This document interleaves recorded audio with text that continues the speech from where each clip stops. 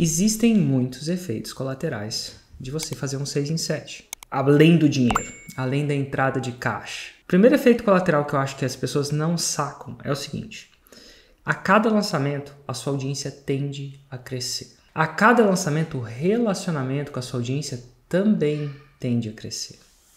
A cada lançamento, a percepção de autoridade sua com a sua audiência, devido aos gatilhos mentais, também tende a crescer. E a cada lançamento, a sua marca tende a ficar mais forte. E a gente nunca para para pensar no poder disso o poder de uma marca. Você já parou para pensar que quando você entra na loja de tênis, você compra um Nike, por exemplo, você não compra um Nike porque tinha um argumento de vendas, uma copy. Você compra no Nike porque você confia na Nike, você gosta da Nike, você quer aquela qualidade Nike, você quer se sentir como alguém que se sente andando tendo Nike. Então, o primeiro efeito colateral é você a cada lançamento ficar mais fácil. Você está em órbita você com pequena, pequeno combustível, com pequeno impulso, você vai muito longe, fica cada vez mais fácil. A segunda coisa é que essa percepção de autoridade te dá uma grande possibilidade de fazer parcerias. É muito comum, quase toda semana, um grande player do mercado na sua área procurar nos contactar para fazer parcerias. Afinal, a gente quer fazer parcerias com pessoas que têm sucesso, e o fórmula de lançamento e um lançamento te cria essa percepção de autoridade e sucesso através de todos os gatilhos mentais. A audiência, a prova, a prova social, a razão. E isso faz com que você a possibilidade de parcerias aumente muito. E nada é tão rápido para crescer um negócio do que você fechar uma parceria.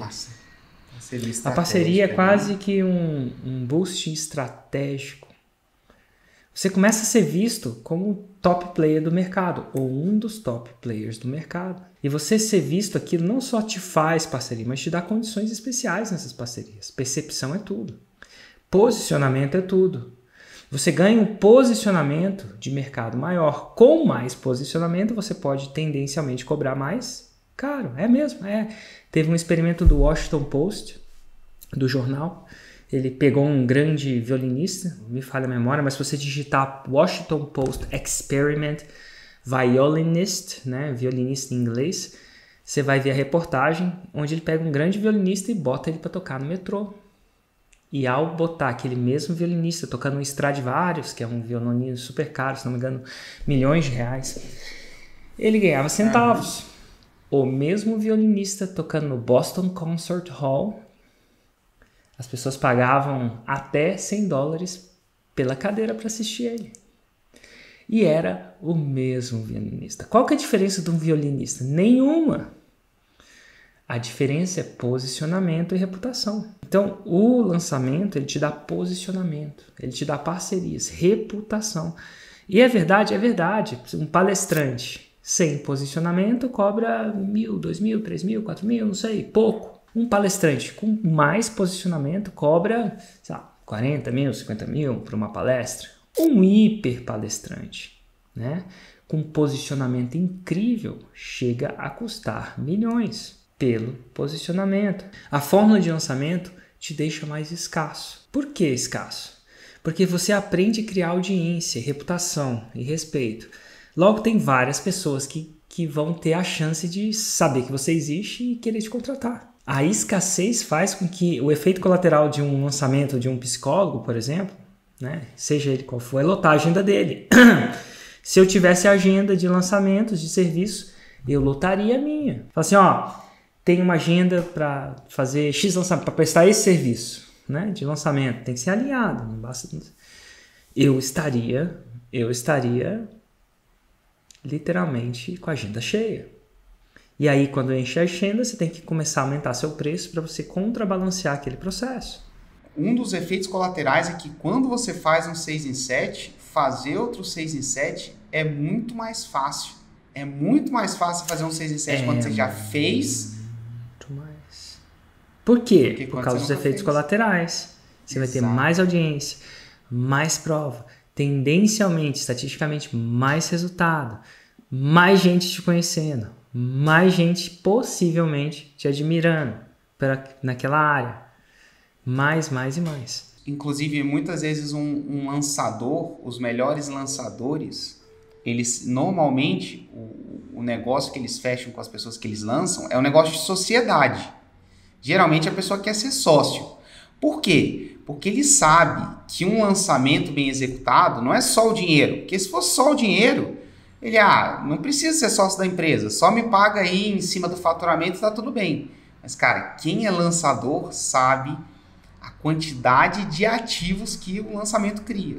No longo prazo, isso tem um efeito de juro composto. E tem uma outra coisa também que esse é super intangível, mas é um ativo excelente que é a sua habilidade de fazer 6 em 7. Uma vez que você aprende, você não desaprende. Você não desaprende mais. Eu costumo dizer que se te, me jogarem, eu sou capaz de falar isso, se me jogarem pelado, tirar tudo que eu tenho, jogar pelado, pelado, sem nem a roupa do corpo, na rodoviária de Brasília, com o celular na mão, eu vou provavelmente conseguir roupa, de algum jeito ou de outro. Né? Depois eu vou, de algum jeito ou de outro, conseguir trabalhar um pouco para comprar um celular. Pré-pago que seja. Que seja, sei lá, não sei. Depois eu vou colocar internet nesse celular. Tão caro não é. Trabalhar, fazer o que acontecer.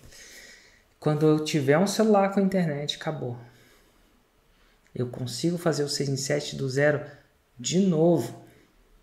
Porque eu sei fazer com um celular e internet. Não preciso nem do computador. Eu preciso nem do computador.